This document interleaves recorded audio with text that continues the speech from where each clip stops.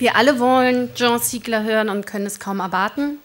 Doch so ein Preisträger gehört auch ordentlich geehrt.